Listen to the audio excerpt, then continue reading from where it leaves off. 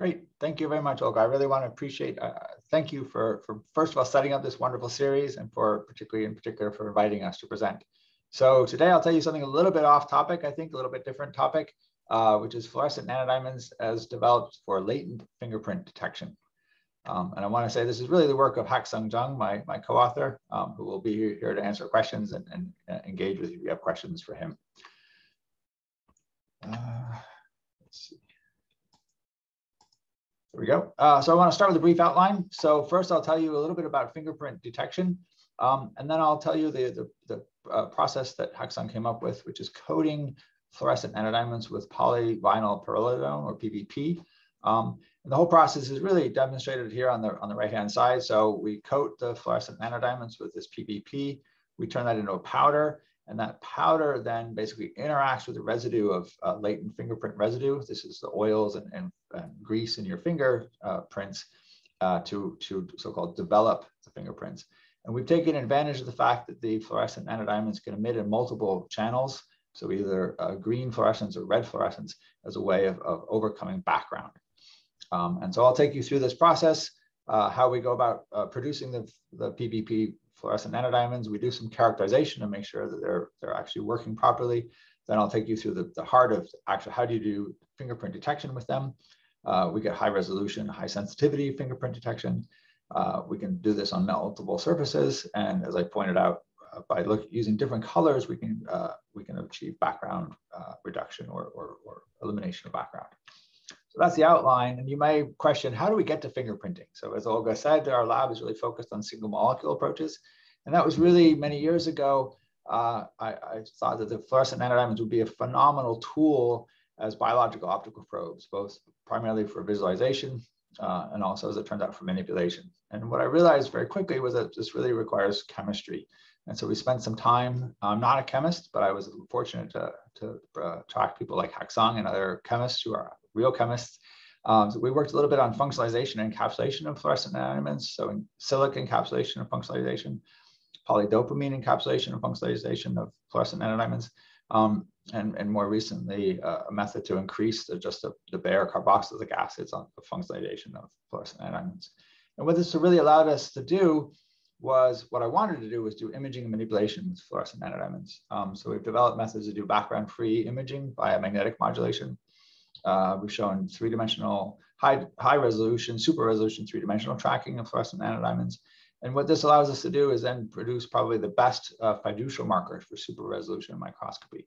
So in this work, uh, they actually held a microscope stage to better than two nanometer resolution for two weeks of continuous imaging uh, based upon the fluorescent nanodiamond tracking. And finally, more recently, we've shown you can optically trap fluorescent nanodiamonds. So more uh, recently, Haksung was really, Haksung Jung, Dr. Haksung Jung, um, was really the, the, spearheading this in my lab, was really the only person working on the fluorescent nanodiamonds. And it turns out he had some background um, during his uh, PhD work uh, developing silica nanoparticles for latent fingerprint detection. Uh, this was the, the, the, publication that rose from that. And he realized as he was working with the fluorescent nanodiamonds that perhaps they would be almost an ideal probe for fluorescent, uh, for fingerprint detection. And so this work really all stems from Haksung. And if I, there's a lesson to be learned is that you should trust the people in your lab. Um, and this was really all from him. And, and I had all, all I really contributed was a good sense of letting him run with this project. So this is really all, all Haksung uh, put this together. So taking a step back, uh, fingerprints. Well, so we all know them from CSI or other, you know, crime shows. Uh, so it turns out they're formed in utero by about seven months. Your fingerprints are stable, and they are with you for the rest of your life. And it's been recognized actually for thousands of years that fingerprints are unique identifiers. Um, this is an ancient Chinese tablet from about 1000 BC. Um, this is an emperor's tablet, uh, identification tablet. On one side is his seal, and on the other side is his fingerprint. And obviously now in today's era, our phones are unlocked with our fingerprints. Um, so it's clear as an a unique identification for the last little more than 100 years, as they've also been one of the primary sources of identification of in criminal cases. And there's a whole field developed to this, which is, you know, how do you understand, how do you quantify, how do you identify people via fingerprints? And what's emerged from this study is that there's essentially three levels of, of identification or three levels of, of detail that you can extract from fingerprints. So the first level is a sort of very gross architectural. Um, you have different sort of overall architectural patterns, so-called level one. And level two is now more details of these ridges. So these ridges are the ridges on your fingers um, that are left in a fingerprint. And it's this more microscopic, uh, more detailed level of analysis. This is what really gives you the uh, ability to identify uniquely a fingerprint. This is when you see a CSI file, an FBI file, this is what they're looking for. These so-called uh, ridge endings, these bifurcations, lakes where the ridge opens and closes, an independent ridge, a very short independent ridge, a spur, uneven, you can have ridges across it, across each other. And so this is the level of detail that is required. And about eight to 10 of these make a unique identification of, of a person's fingerprint based upon the number and where they are uh, within the fingerprint. And you can go even deeper. Uh, you can actually look within these ridges. You can see pores or very faint uh, sort of inner, inner pore material or scars or other uh, defects in this so-called level three. But level two is really what's required for, for unique identification of fingerprints. So how do we go about developing latent fingerprints? So late, by latent fingerprint, this is a fingerprint that's left on material or at a crime scene or, or uh, and what it comes from is basically our hands are covered in a, variety of, of sweat material, um, primarily water, salts, amino acids, proteins, nonpolar lipids, other, other trace elements. And when we touch something, we leave that, this, this sort of uh, this complex uh, latent print and the process of developing that is figuring out a way of finding something that binds to it that becomes visible. All of you are probably familiar with powder dusting. This is still the most common uh, and widely adopted use where a powder is put down such that it interacts with these uh, the, the latent print and so it becomes visible. Um, there's a whole variety of different methods and reagents. Powder dusting, as I said, is still the most common. There's uh, an ninhydrin solution is another approach, iodine or benzoflavin spray, cyanoacrylate esters. There's metal deposition, um, probably many of you are familiar with the sialyl This is the, the crazy glue uh, uh, fuming, uh, which is a very po popular technique. Again, you see this with, with UV light in CSI or crime shows. And more recently, uh, Haksung and others have been developing improved fluorescent staining, uh, primarily through nanoparticles. So this is uh, earlier Haksung's earlier work, fluorescent silica nanoparticles. People are using rare earth fluorescent nanomaterials and even quantum dots as a way of, of basically producing a powder dusting with much enhanced with fluorescent approaches rather than simply scattering or, or absorption. Nonetheless, there's still uh, a, a, need for improved particles. And so I'll sort of take you through the list of what makes a perfect particle detection for latent fingerprint uh, detection. So first of all, you, you want a broad applicability. It has to work on a variety of different surfaces. Obviously, uh, fingerprints and crime scenes are on all sorts of different materials. And this could be achieved perhaps through particle surface modification. You want very high contrast so that the, you, need very good contrast of, of, the, of the friction ridges of the, of the fingerprint against the background. Um, and this can be achieved through uh, fluorescence intensity, through photoluminescence intensity, and possibly background suppression. You want very high selectivity. Once again, you want very high binding to the, for the friction regions and no other places. Uh, low toxicity. These are being used in crime scenes by non-specialists typically. So you worry about the toxicity of these powders. Um, so you really want something that's biocompatible and um, also biocompatible surface modification. This is the probably the, some of the problems with some of the rare earth approaches, some of the quantum dot approaches. These are known toxic materials. You also want low background, low interference. Um, once again, through through the enhancement of uh, photoluminescence intensity or background suppression would be ways of improving them uh, should be permanent and stable. So you'd like something that could be gone back to over and over and over again. So both optically and mechanically stable particles. And finally, there are some instances where you would want multimodal or multi-scale imaging, for example, optical and even EM imaging of the same particles.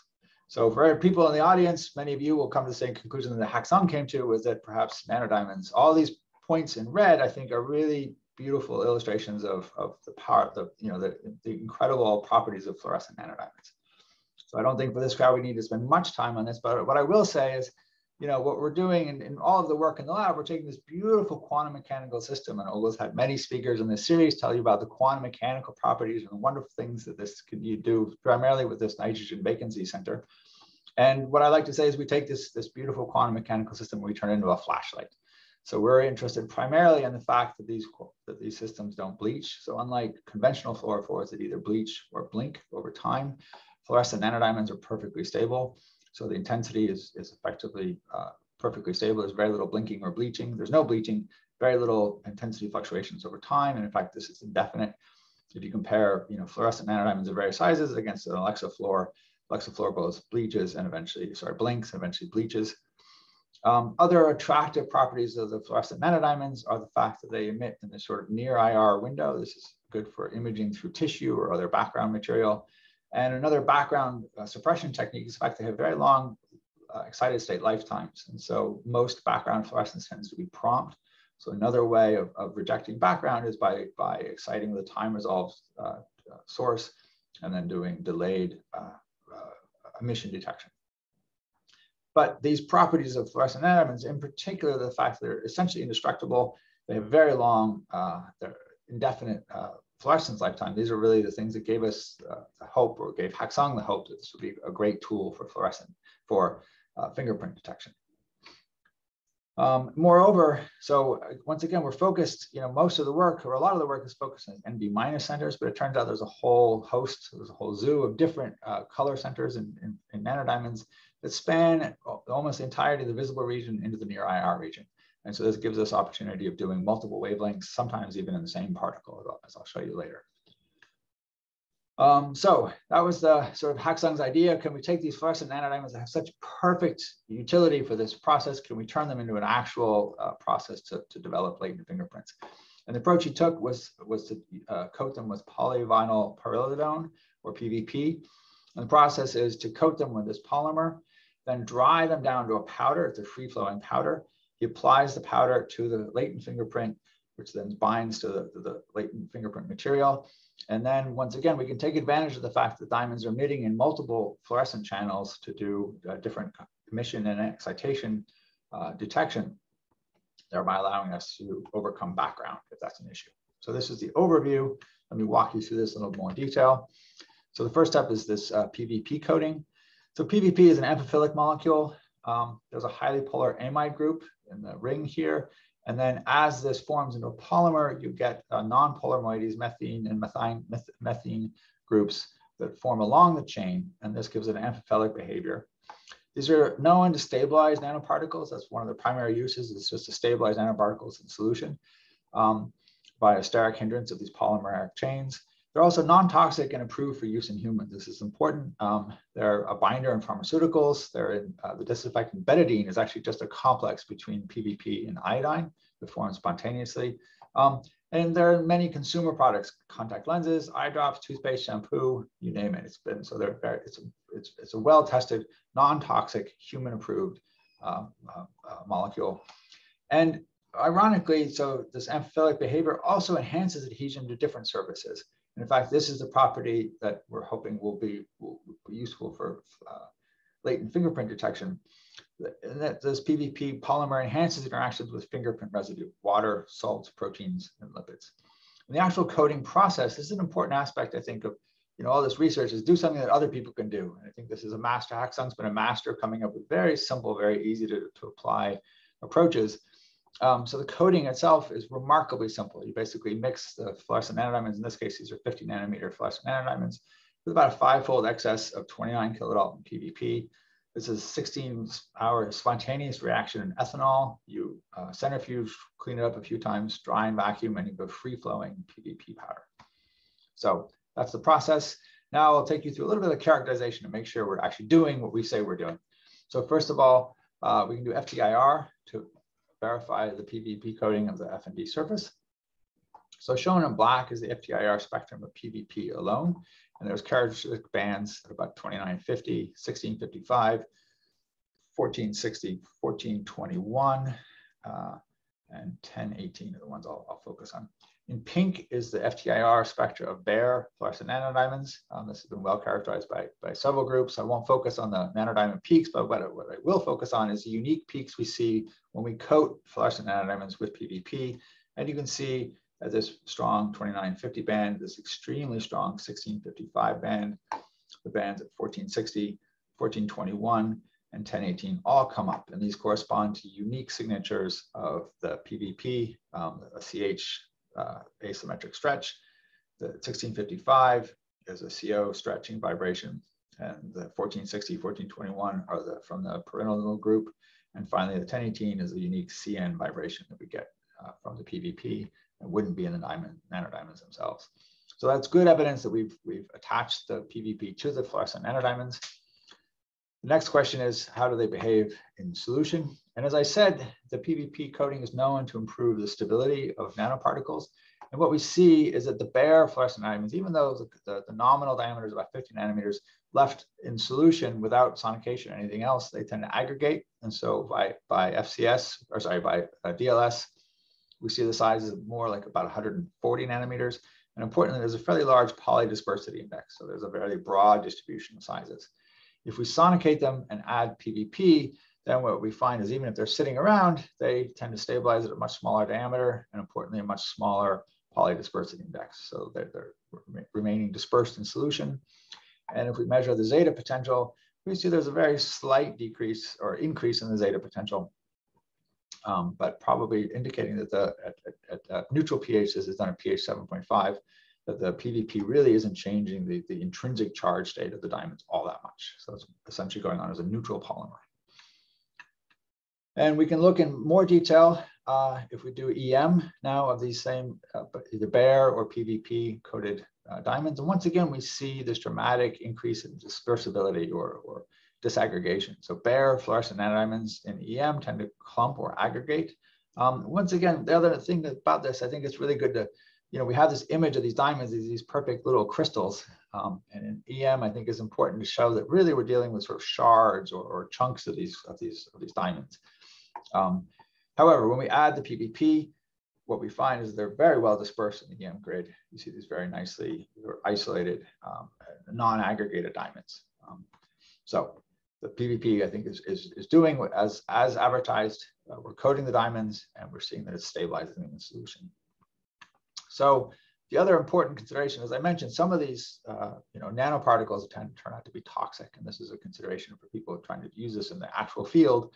And so we wanted to have a look and uh, determine, are there any toxicity issues? This has been well established for bare nanodiamonds. We wanted to recapitulate that, that data and also show that the, the PVP are also non-toxic. So at the cellular level, we're looking at the viability of mouse immature bone marrow dendritic cells. These are very sensitive cells to perturbation. And also because, of course, this is going to be turned into a powder that will be used by people, you worry about inhalation. And so we specifically chose human non-small lung carcinoma cells, that's H1299 cells, as a representative of, of lung cells. You know, are there particular uh, damage that could take place in lung cells? And what we find is we measure viability of these cells either through a long incubation, a variety of concentration of nanoparticles, or a fixed concentration over a function of time. What we see is that either uh, fluorescent nanodiamonds on their own, this is the uh, pink and red uh, triangles in the two cell types, um, or the PVC, PVP uh, fluorescent nanodiamonds in, in sort of the, the, teal and dark blue. So there's really no significant reduction in viability, either as a function of concentration or time. Whereas if we take another commonly used nanoparticle, quantum dots in both cell types, we see a fairly rapid decrease in cell viability over concentration and time. So once again, the take home message is that the fluorescent nanodiamonds either coated with PVP or bare really pose no toxic threat at the level of the cells. Another concern, eh, eh, you know, so I would say cell viability is a, is a base level uh, concern you have. Another concern would be uh, immune response. And once again, the possibility of inhaling these um, and, and eliciting immune response would be a concern. And so here, in particular, the bone marrow, the, the mice-derived uh, immature bone marrow dendritic cells are very sensitive to mutagenic uh, substances. They have a high concentration of immunoreceptors on their surface, and they respond very quickly by releasing the cytokine TNF alpha. So they're a very sensitive probe for mutagenic uh, processes. And what we find is if we treat them with a control of PBS, then we see the background level of T, this is uh, TNF alpha. This is the cytokine, it's an amino responsive cytokine. Uh, either bare or PVP coated diamonds elicit no uh, higher levels of, of, TNF alpha, whereas once again, quantum dots have a marked increase in TNF alpha. This is significant at the 1% level. So again, the take home from these two studies is that the PVP and bare diamonds are both safe a, in terms of cell viability, so they're not killing the cells, and more importantly, in a more subtle measure, they are not eliciting an immune response from the same cells. Um, so suggesting that at least at the cellular level, these are safe and non-toxic and non-perturbative biologically. Good. So finally, we can come back now to the sort of question at hand, which is optical properties. So the PVP coating has very little effect on the FND optical particles. This is to be expected. This is more or less a transparent polymer. What we see in the absorption spectra is a very slight increase down here at the UV, and that's primarily due to the PVP on its own has, a, has an absorption peak of about 180 nanometers, and we see that added to the fluorescent nanodiamond, but out at, for visible wavelengths, there's no real change in the absorption profile. And uh, we see almost a perfect uh, overlap in the emission in the photoluminescence photoluminescence uh, emission profile of either coated or bare fluorescent nanodiamonds. Um, and uh, again, this has been touted repeatedly, but it's always good to measure as we find that the, the photostability of bare or PVP coated diamonds is far superior to quantum dots. Um, so here, this is continuous illumination at uh, 320 nanometer light, and we're monitoring the intensity normalized to this first point. And what we see is either the bare or coated fluorescent nanodiamonds go on for you know, hundreds of minutes, whereas quantum dots, which have been touted as unbleachable or, or very long lifetime, what we find is after about not quite an hour, they're starting to bleach significantly. And by two hours, they're really, you know, they're very, very significantly bleached.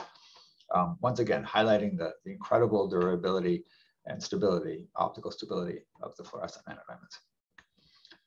And as I mentioned previously, fluorescent nanodiamonds can, can actually emit with, can have different centers. Um, and this particular batch of fluorescent nanodiamonds um, ended up with probably at least three different centers. So probably down here at about 525, this is an H3 center. Um, there's the NV0 and NV minus center. And by changing what this you can sort of see from this graph is that by changing both the excitation and emission filters, we can selectively uh, capture light from these three different uh, centers and we'll come back to this later, but this is just a, a uh, sort of a highlight of one of the other unique uh, features of the fluorescent nanodiamonds is the fact that they can possess multiple fluorescent centers. And even, uh, for example, the NV minus or NV0, a very broad emission um, that gives us aspects or abilities to reduce background. Good. So now that we have particles, they're well behaving, they're coated with PVP, they're uh, in principle not toxic, um, and they have very, they're very good optical properties. How do we actually go about this? So once again, we coat the fluorescent nanodiamonds with this PVP polymer. We dry this down to a powder. It's a free-flowing powder. The, the polymer helps uh, prevent aggregation and clumping. And the actual measurements are done by uh, first taking two cover glass held next to each other. I think it was just thin glass. And a donor places a, a fingerprint at that junction between the two. And this allows us to do as a direct comparison of the same fingerprint sort of left-hand side, right-hand side. And these first set of experiments just asking the question, does PVP really enhance this process? So on the left-hand side, we'll treat these with just bare fluorescent nanodiamonds. And on the right-hand side, this PVP coated fluorescent nanodiamonds. And shown below are three replicates of the same fingerprint across these two slides. On the left-hand side in each case is the bare diamonds. On the right-hand side is the PVP coated diamonds. And we're doing two different uh, measurements here. So the daylight, this is just uh, ambient exposure, ambient light, and taken with a, a consumer uh, digital SLR. Um, so you can see the resolution is quite high, even with such a simple camera. On the right-hand side, this is done with a simple CCD camera with a emission filter and excitation filter. So in this case, uh, the excitation is about 500 nanometers, and we're looking in the, in the red channel. What you can see in all three of these cases is that the right-hand side, the PVP coated diamonds, are far superior in, in capturing the fingerprint impression. So this gave us some hope. And now Haksung recruited, ah, I'm sorry, another test. So, you know, those look great. How do they do against a commercial powder? And so here, this is a commercially available fingerprint dusting powder. This is a sort of a challenging fingerprint. It's the same fingerprint, two pieces of glass, two fingerprints from exactly the same time, the same donor. And what you can see on the left is that the commercial dusting powder does a relatively poor job of capturing the fingerprint. You can see the, the ridges are there, but certainly in not great detail. On the right-hand side is the exact same fingerprint on, on duplicate glass captured with the diamond PVP. Um, so, so far superior capturing of, of, the fingerprint. So this process is equally as good, if not better than, than at least this, this particular uh, commercial dusting uh, powder. So Haksung recruited three donors um, just to sort of show that this is not a, particular, you know, it's not a one-off. You can see there's very high resolution. And I like to say now that the members of the lab, their, their any, any future crime uh, uh, career is now ruined. Their fingerprints are widely available on the internet. So, uh, but and we can see from these images, we can see the sort of high level architectural details.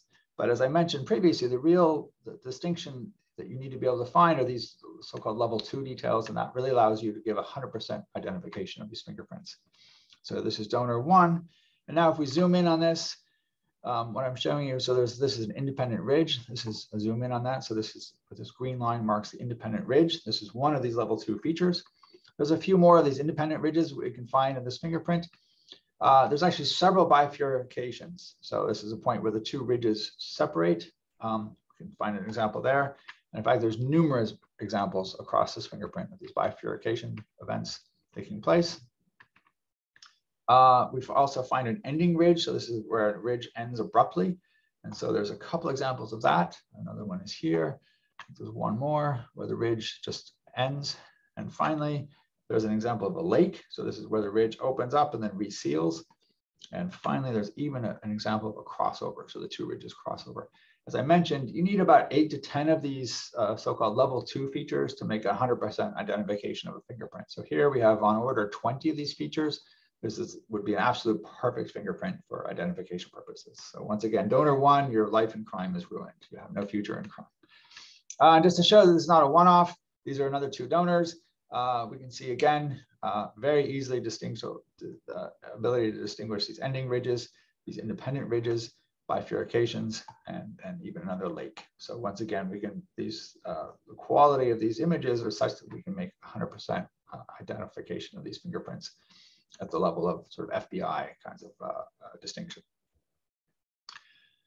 And we can go even further. Um, so now for even higher resolution, this is SEM imaging. As I, as I showed you previously, the diamonds have, have electron contrast. And so uh, these were done on ITO glass, and then you could actually image these. So once again, at very high resolution, you can see these features are now incredibly obvious. This is a bifurcation event. Uh, this is a termination, an independent ridge, and another bifurcation event um, shown here. So this provides so that you can do multimodal uh, analysis of fingerprints with the uh, the uh, PVP FNDs. Good. So another aspect, of course, this was all done on glass. That's a very, it's a non-porous, easily uh, you know tracked or, or easily developed substrate. And of course, in a real crime scene, you want to know how well does this do on a number of different substrates. And the, the, the, primary distinction is are they porous or non-porous? So as examples of non-porous substrates, aluminum foil, ceramic, glass, and plastic. And uh, those are distinguished from porous, which would be uh, money, paper, and wood. And as I mentioned previously, so what you're looking at is in daylight. This is just a, a, a, a ambient light picture with a, with a, digital SLR. And then we can use a, CCD camera equipped uh, with emission filters, either in the green or the red, exciting either in the blue or in the green. And what you'll see is across all of these different uh, surfaces with varying degrees of sensitivity, uh, we can pick up the, the fingerprint impression, the latent fingerprint after developing with the PVP diamonds. And once again, you can see under certain conditions, one versus one wavelength versus the other does slightly better. So this ability to use different wavelengths really allows us to overcome the background or some of the, uh, the issues of these different surfaces. But the important take home is that we can always distinguish these, these, uh, these details across different surfaces.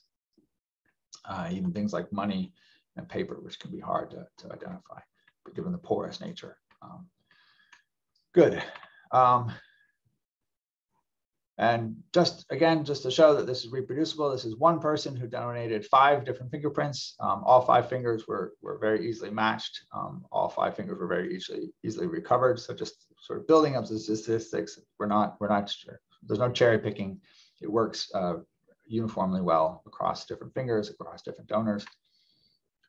Um, another issue that arises when you're doing this in the field is you know, what I've been showing you is, is fingerprints that were developed uh, the day of or you know, within an hour of, of actually being deposited. Um, of course, that's not always the case in reality. And so one thing that happens is these complex fluids, this complex material that make up the latent fingerprint age, and degrade over time. So the question is what happens after you know, three or seven days of, of degradation? You can see there is uh, some signal loss. However, the overall uh, resolution and imaging remains quite good enough to make a, a distinction. So even after seven days of aging, uh, this the, the, the, the, nanodiamond PVP can pick up these, these, these very sensitive features. The point I'll, I'll, I'll, make, you know, one question we've had, um, you know, obviously the fluorescent nanodiamonds are, are uh, the price is coming down thanks in, in part to Olga's uh, work and other uh, other developments. And you know, one people have asked like, how much does it cost to, to do this? Right? Is this an expensive? Is this a feasible approach? And Haksung worked very hard to figure out that each fingerprint requires a little less than 100 micrograms of material. And when we go through the math, it works out to about a, be about a few dollars per fingerprint. So it's not it's not uh, super cheap, but it's not doesn't break the bank. So even though these are diamonds, it's uh, not all that expensive to make a diamond fingerprint. Um, and finally, um, you know, one of the things that Haksung was really fascinated, I think, was, was the ability to reduce background. Um, and so one approach was, as I mentioned, this sort of dual emission. And just to, to, to demonstrate this, um, he added a background of either red quantum dots, Nile red, or in fact uh, took a, an impression of a latent fingerprint on orange paper. All of these give very strong fluorescent background. And what we can see in the case of the red dyes, um, if we excite in the blue and, and record in the green, we see there's virtually no uh, no background whatsoever. We've eliminated this this you know large background. Whereas if we excite in the green and uh, detect in the red, we see this huge background. And so this is just a, a concrete demonstration. This is dual imaging uh, dual color imaging gives us a, a, powerful way of reducing the background. Converse, conversely, on the orange paper, if we uh, excite in the blue and, and, record in the green, we have very low contrast. And uh, if we excite in the, in the green and record in the red, we have very high contrast. So once again, just eliminating the background by, by judicious choice of, of different colors. And you can imagine ultimately uh, combining different wavelength detections to really enhance the signal and, and reject background. So with that, uh, I've reached uh, the end. So hopefully I've, I've managed to convince you that we've successfully coated the FNDs with PVP. Uh, the PVP coating improves development of, of the latent fingerprints and also just in general improves the, the stability and, and uh, disaggregation, disaggregates the FNDs in general. Um, We've shown that we can extract these so-called level two features from latent fingerprints developed using the PVP coated FNDs. And this, as I said, these level two features are what gives you absolute confidence in, in identifying fingerprints. Um, the uh, making it more practical, we've shown that these latent fingerprints can be visualized with PVP coated diamonds on numerous substrates, both porous and non-porous. Um, and here, taking advantage of the fact that the diamonds are incredibly stable. So the fingerprints developed with PVP coated uh, FNDs were independent of source, so donors, different fingers, and importantly, age. And what I didn't show you was um, if you develop these and let them sit for full 10 months, we came back and looked at them again and they were barely changed. And so that's a highlight, I think, of these of the of the diamonds is they're perfectly stable through time. So once you've developed these, they're perfectly stable. And um, finally, the diamonds by uh, imaging multiple, multiple modes. And once again, this takes advantage of the stability. So we can really image this for long periods of time, um, really taking advantage of this, this, indefinite optical stability of the fluorescent nanodiamonds allows us to uh, reject the background fluorescence by either dual or even multiple uh, excitation and emission wavelength imaging. So with that, I'd like to acknowledge the people who helped with the work. So the Laboratory of Single Molecule Biophysics, um, these are the current members who were members actually who were here when, when Haksung was doing this work. Uh, we had also had help in the, from the, the, National Heart, Lung, and Blood Institute members, Dr. Marie-Paule Strub. Um, I'd particularly like to highlight Dr. Rolf Swenson in the uh, Imaging Probe Development Center, who's worked on a lot of the nanodiamond projects with us, someone who's really been uh, helping spearhead the, the projects here and his, uh, his colleague, uh, Dr. Haitao Guo. And finally, the, the, a number of the measurements were performed in the biophysics core facility and electron microscopy core facility uh, assisted Haksung with the EM. Um, our collaborator uh, in the Korean National Police University, someone who's actually interested in using and developing these uh, nanodiamonds for actual work on, on detecting uh, uh, fingerprints, Professor uh, Seung-Jin Ryu. Uh, we had help from NCATS doing the FTIR uh, collaboration and through NCI looking at the cellular response to, to fluorescent nanodiamonds. The uh, formerly anonymous fingerprint donors who have now lost their future in crime. And uh, I want to thank you for your time. And uh, as I said, this is really work all done by Haksung Jung. Um, he should take the credit for this. It was really his idea. Um, the paper is here. I should have mentioned this is published uh, in 2020. Um, the, the, the, the, paper is here. And if you have any questions, you want to contact either one of us, our emails are here. This scan will tell you, take you to the website. This will take you to the paper. And with that, I'll finish. Uh, thank you for your attention and ask if there's any questions. Uh, uh, dear Haksung, thank you very much for this excellent presentation. Uh, I'm sure you had a lot of fun working on this project. And uh, now we are open for questions. Please uh, just unmute yourself and ask your question or type it in a chat room. And uh, so far, I would uh, like to start with my question. Mm, uh, question is how critical is size of nanodiamonds? We know the larger diamonds, the brighter its intensity, emission intensity. So uh, probably some specific question, what is the feature size of those specific level two features? Uh, so that say larger than 50 nanometers, more bright diamonds can be applicable uh, for this application. Haksung, do you want to weigh in on that? I can, I can, I'll move back to the slides. I think the EM probably gives us the clear indication. Yeah, right. Sort of that. So yeah. it's about not quite 100 nanometers, give or take. I think between 100, 150 nanometers up to 200 nanometers is sort of the size of those those ridges. Um, mm-hmm. And so I think that's, uh, sorry, microns, not nanometers, microns. Um, so it's a micron scale. Microns. Oh, yeah, microns. So, mm-hmm. yeah. So it's, it's, so I think uh, 50 nanometers is probably, you know, overkill in some sense.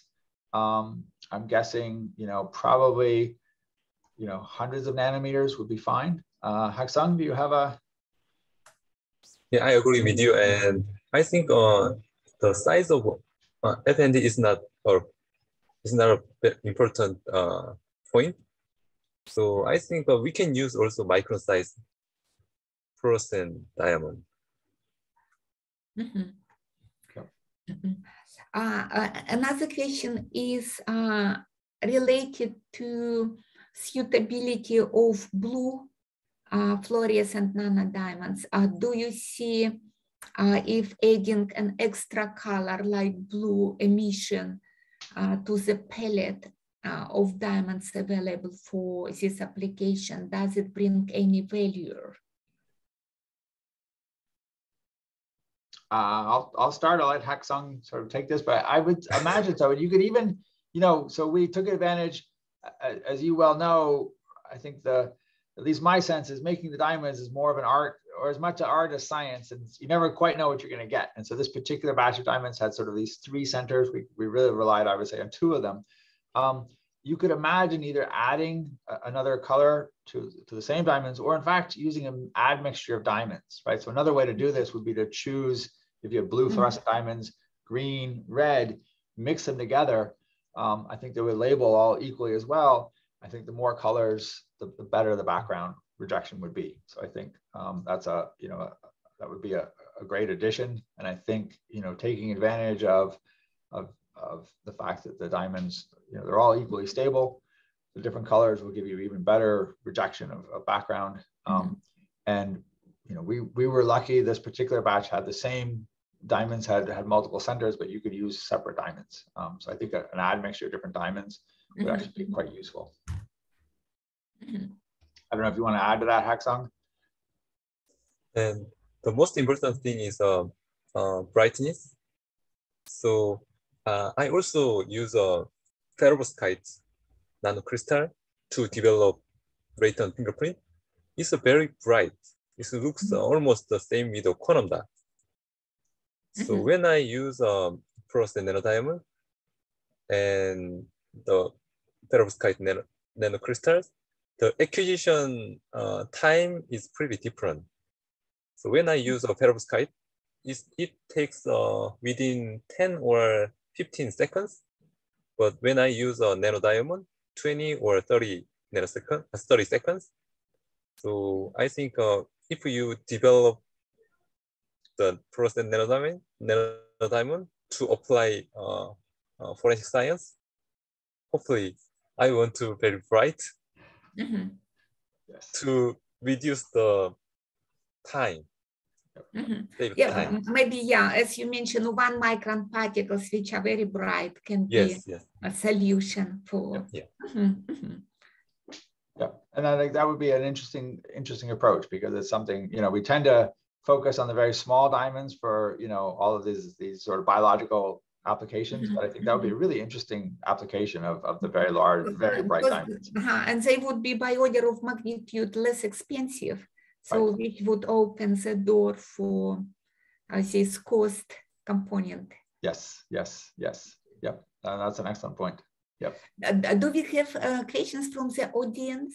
Uh, Olga, this is Gary. Uh, Keir and Haksung, um, want to commend you uh, you sort of anticipated all the issues and questions people would raise. And so very, very nice, thorough study. Uh, one question occurred to me when you were showing the uh, material, which I don't believe you identified that's currently used, mm -hmm.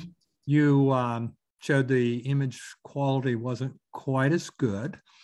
So uh, if I don't know what's utilized in that case, but if it were used with the PVP, would you see more similar results? Uh, you, you, obviously carefully selected the PVP. I wondered if it were used with other fluorophores, it might produce higher quality results. I'll let uh, Haksung address that. I think because Haksung actually first developed this for use with the silicon nanoparticles. And so he had this sort of, he already had the PVP sort of I think worked out. So I'll let Haksung address that question. Right. When I use uh, fluorescent nano uh, silicon nanoparticles, it's also very similar with uh, this uh, uh, with this research result.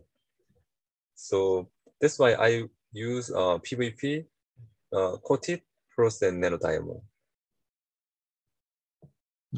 So I think addressing your question, I think uh, you know the powders that exist. I think what people are doing is is you know trying to make very inexpensive, very efficient, and so it's just a, a fluorescent powder. It's commercial and, and protected, so we don't know really what it is. It's a green fluorescent powder. Um, I don't think it's a nanoparticle based. I think it's well at some level it's going to be a particles. It's, at some level it's you know micron scale based um, particles, but I don't think there's a there's an explicit coating process that takes place. Um, and so you're absolutely right. You know, I think the PVP, what the what the what this work has shown me, Haksung's two, you know, two two forays into this field, um, or or now three, have shown that the PVP, I think, is a really powerful coating You know, um, and I think that in of itself would improve things. I think, you know, I think what Haksung brought to this with respect to the nanodiamonds in particular is, is they have some unique features um, that, that could be applicable um, you know, this this long lifetime. Um, and you know, and and you know, another way that you know, just sort of anecdotally, another way we can overcome background is that other fluorophores bleach. Um, and so if you're willing to be patient, you can just bleach other fluorophores away and the nanodiamonds remain. Um, so that's a, that's another approach that, you know, is a sort of a brute force way of, of getting rid of background.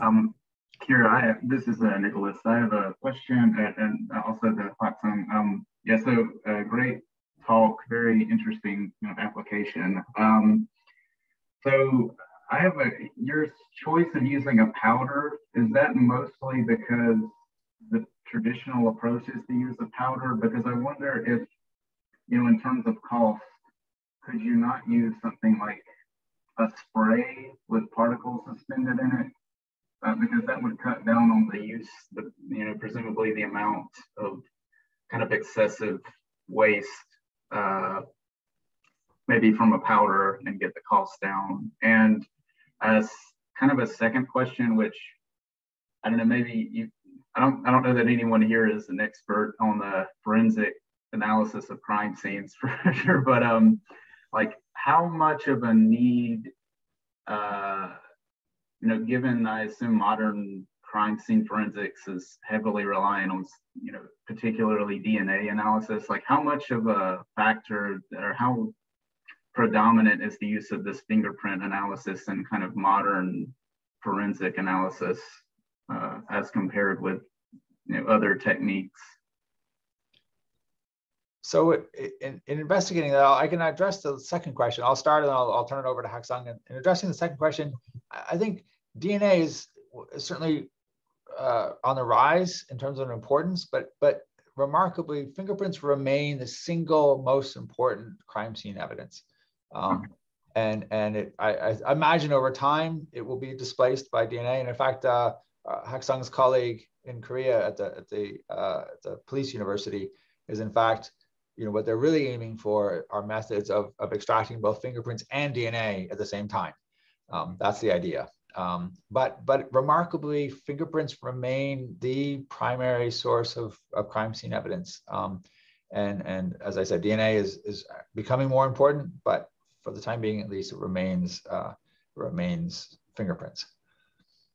Oh, so, I'm sorry, I think you can probably address the questions of, of why a powder and not a not a spray. I think that's more in your your wheelhouse, Haksung. Sorry.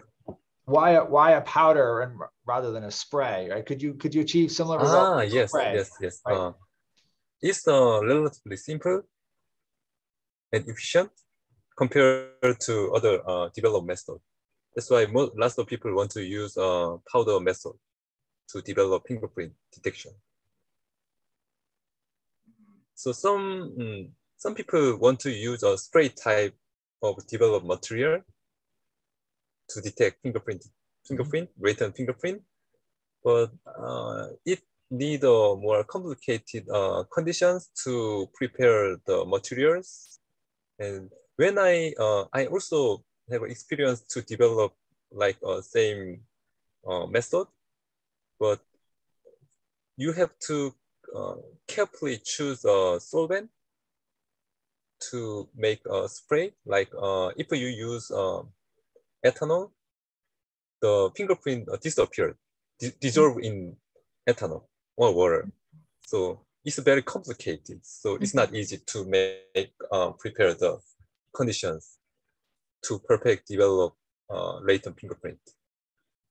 And maybe this is a follow-up question because now I because maybe my understanding is different. So uh, at a crime scene, are they when you say latent developing the fingerprint, so do they lift the fingerprint from the crime scene and then develop it at another site, or is it done on site? I guess that's yeah, maybe that's the more. So I guess the, is this development of fingerprints done at the crime scene, or, or do they somehow lift the fingerprints out of the crime scene or something? And I, I don't know that part. I maybe is just not clear to me. My sense is it's done uh, directly. So either either the material is removed and, and done in a lab, or if it can't be removed, it's done in situ on site. And so I think lifting sites is lifting prints is possible, but I think my understanding is that the very best resolution is done by by capturing the the print directly. Um, okay. Mm-hmm.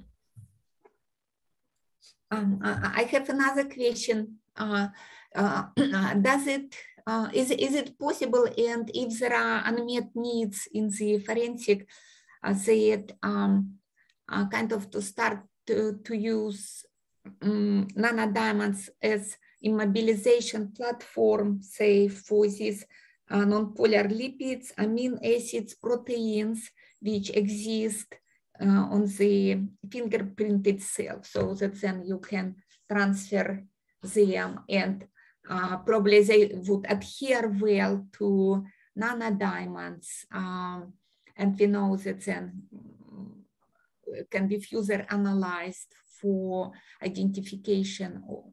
For example, if it was blood present, uh, and if blood is present, then probably DNA would present for sure.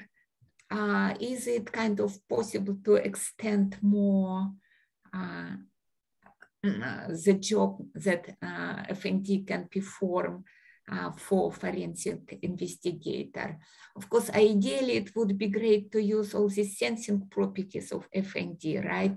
So that you have some uh, platform uh, so that um, modulating NV uh, fluorescence and uh, learning something about biological environment would be ideal, of course. Did you think in that direction and uh, do you have some so far just very general conceptual ideas for using either as uh, immobilization platform for biological features or even more over extending to sensing um, capacity of FND. So I can I can start and then I think Haksung knows more about this, but I know it turns out that the composition, so you know, I I, I sort of glazed over this, but the composition of that latent fingerprint is actually also unique. So I think you're sort of onto something.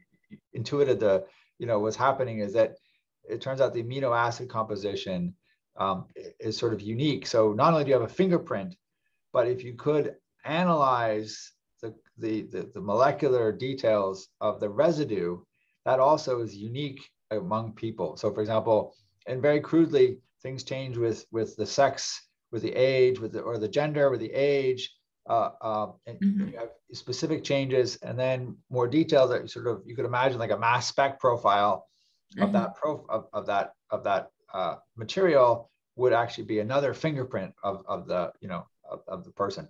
Um, that's a I don't I know there's a little bit of work people are trying to do with some of the sensing of some of the metabolites or, or some of the some of the components of the residues. I think Haksung has a better better feel for what that is.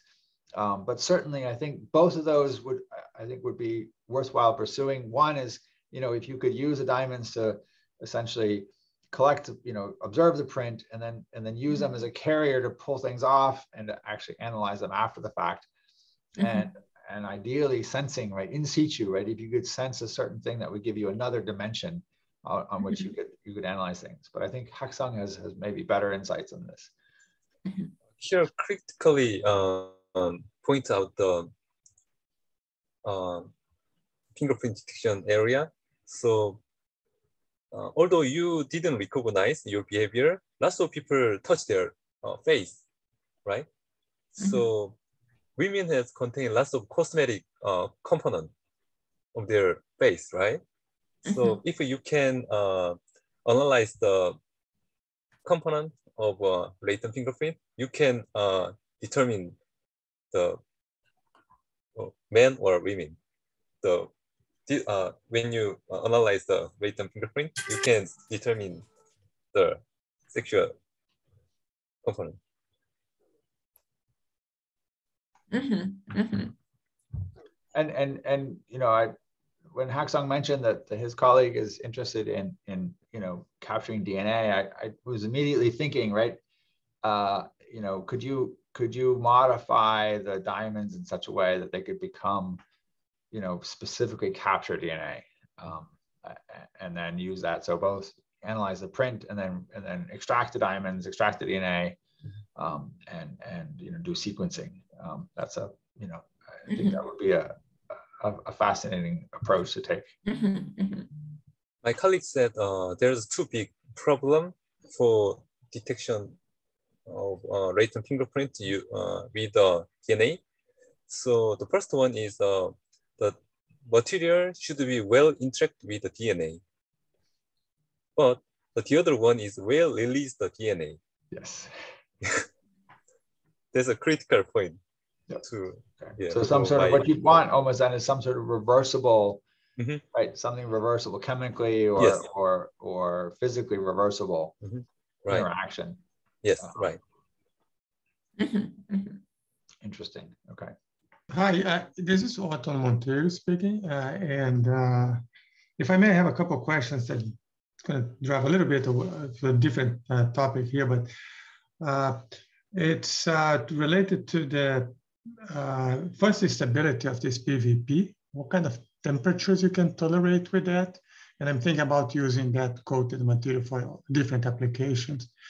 And then the other thing too is that uh, carbon dots are also would be also some you know other possibility for the same similar applications that we are looking at it. So, and and there are right now you know, techniques that at least in principle could make uh, significantly cheaper than the nanodiamond uh, material. Uh, so in that case, I mean, why? I mean, is there any particular reason why you steer away from that? And then the temperature stability of the PVP, and also if you have worked with PVP on uh, carbon dots. I will turn the PVP questions over to Haksung. He's really the expert on PVP. So Haksung. Yes, um, because uh, the PVP is biocompatible and we can easily purchase and low price. So it has very uh, it has uh, large uh, benefit to use them, and we can yeah we can also uh, control the molecular weight of PVP, and hmm, so. But it, and do you know that I think the specific question was the thermal. What's the thermal stability? Do you know what the uh, thermal, thermal stability? Uh, yes, uh, I did a thermogravimetric analysis. Mm -hmm. So it it can be uh, destroyed from 200 over 236 degree. Okay. Yeah. I know one other commercial application is it's used in uh, in in hot glue gun. The hot glue sticks actually have PVP as a component. Um, but okay. I think the Haksung's data is more more relevant, but I just I, I remember that. Um, and, and, in terms of you know, I think uh, your question about other other particles is is certainly apt. I think uh, you know I think what Haksung was really aiming for was this notion of how to do multicolor and, and background subtraction. I think one of his you know his real hopes was um, you know we'd worked on on this sort of magnetic uh, approach, this magnetic modulation approach of doing background subtraction. And I think his hope was to develop a system where you could do that. And that would be, I think, unique to the fluorescent nanodiamond. So that was part of the impetus for this. Um, we haven't developed that. that. That's something in the future. Um, it could be done uh, possibly. But but certainly I think it's not not unique. And and in some sense it was a proof of principle. I think uh, you know you're absolutely right. The diamonds are are you know eh, the cost is a little bit more, substantially more, but not outrageously more than the, than the commercial powders. Um, I, I, certainly think that perhaps carbon dots, again, I think, you know, the things that we could take advantage of are the multiple colors, um, and obviously the stability and the size. Um, and those are, I think, the things that are really driving this to some extent. Um, and, and perhaps, you know, in the future, another very high resolution approach would be this sort of magnetic modulation that would do, get rid of the background especially the carbon dots also uh, very weak uh, stability under continuous irradiation. I never seen high photo stability like a diamond. Mm-hmm. So, uh, and also, it seems that uh, quantum dots have uh, uh, are prone to oxidation in air. So it's another concern that even they are very bright, say in ideal conditions, mm-hmm. you cannot say preserve this for a long time. So at least what I've heard about yep. oxidation of quantum dots. Was the question related to quantum dots or carbon dots? Carbon dots. Carbon dots. Yeah. Ah, yeah. Right. right. Yes. Yeah. Yes. Mm-hmm. Mm-hmm. Right. And then we've used carbon dots in, say, long-term you know, photoluminescence applications.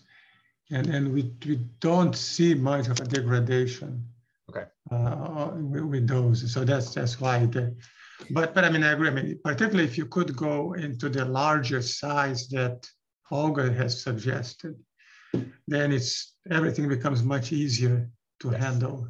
Yes. So the cost would probably go down significantly. yeah. And, and it's uh, just uh, even not size, it's just kind of market demands. Uh, if there is kilogram demand from the market, then definitely um, it's not a problem to deliver this kilogram and it will, uh, if it's constant demand, the drop becomes, uh, the cost drops 100 times. Yes, mm -hmm. yes, yep, yep. No, I think that's an excellent point, Olga. I think, you know, we, we sort of developed what we had on hand, but I think the larger particles would be both cheaper and also as to Haksung's point, the brighter particles, I think really drive that sensitivity, right? And so if we had brighter mm -hmm. particles, it could be shorter excitation or shorter shorter collection times and, mm-hmm. and, higher sensitivity. So I think I think that's a really that's that's a that's a really good idea. Mm-hmm. Here, this is Gary again. Uh, you mentioned in one of your slides that it you need about eight markers. Um, I'm assuming, looking at the images that you've shown, that finding that many of many unique markers is relatively straightforward but considering the billions of people in the world, is it ever necessary to go to a larger number of markers for unique identification? So I think uh, my little, my my brief sort of education on this topic, um, at least for the so there's sort of FBI standards, and I think the FBI standards uh, have declared that essentially eight to ten, because it's not only the markers but the the position of those markers. Um, and, and there's also, right, so you can do an overall sort of gross analysis of that sort of highest level feature. And then within that, if you find eight to 10 of these, of these unique features that, and they can be quantified in terms of not just the feature existing, but obviously what's its location, also things like its, its orientation, right? Its handedness, which way is it, the angle. And so all of that can be extracted from, from these images. And there, the, the, the you know, the, it's a, you know, it's not a proven fact, uh, but you know, you, you, can ask the question, even twins. So twins share only about 30% uh, overlap in their in their uh, in their fingerprints. Um, and, and it's quite interesting. I was reading about this that even so in utero, when the fingerprints are forming, they're forming in, in relation to sort of local cues and as the amniotic fluid is moving and whatnot, that changes the, this is what actually produces these patterns. And so even twins have uh, largely distinguishable fingerprints. Um, and so the notion, that's where the sort of eight to 10 comes from, um, is that in, in, in the, at least all the cases that people have looked at in detail, that's about the level that you need to make an absolutely unique identification. If you consider the fact that it's not just which features they have, but where are they in relation to each other? Where are they in relation to this larger sort of, uh, you know, profile? And then finer scale features, which I didn't didn't include, but you can sort of imagine, you know, what's the local, the, the, the, details of these features. How long are they? What's their inclination? What's their angle with respect to each other? What's the spacing and things like that. So I think altogether, those eight to 10 sort of details on a larger map are, are end up being unique. Mm-hmm. Haksung, I don't know if you want to weigh in on that anymore. You you already you already said everything. Okay. Okay. Yeah. It's good. I'm glad Haksung is here. He's keeping me honest. I had to catch up with him, right? So I had to teach myself all of this after he did all this. So I'm glad you're here, Haksung. Thank you. Mm, do we have more questions from the audience? Yeah, it was quite long discussion uh, a lot of questions. Yes, no, that was that was great. It's always always fun. The, the, topic is so interesting, and your uh, demonstrations, achievements are very impressive. Thank you, thank you. Well, that's all Haksung. I have to say, you know, all I did was get out of his way. Uh, it, it also takes a teamwork to really achieve something. So yes. uh, I helped along the way, but it was it was really his idea. And um, you know, at first yeah. I thought, oh, that's kind of a crazy idea. Yeah, it's okay. a brilliant idea. Yeah. yes, yes, yes.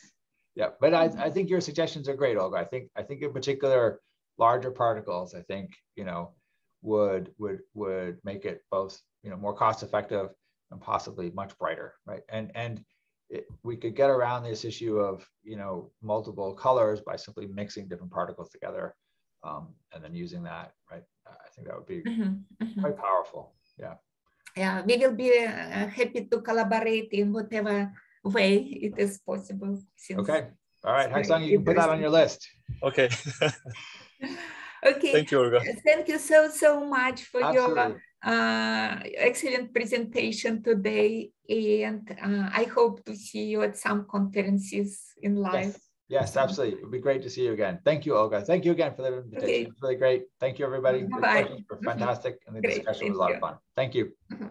Bye bye.